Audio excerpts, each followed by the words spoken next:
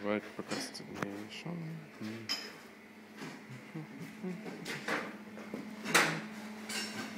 Oh, well.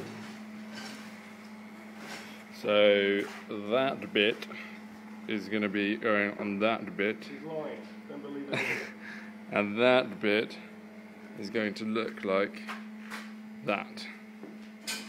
So those three bits are the first three. One, two, three, and then the other one, two, three, and on the other side one, two, three. They're going to be joined on there and there, and here are the brackets, and the brackets join on to those bits so that it's modular, and that's the trunk, and that's John, and that's Trevor, and that's Nick.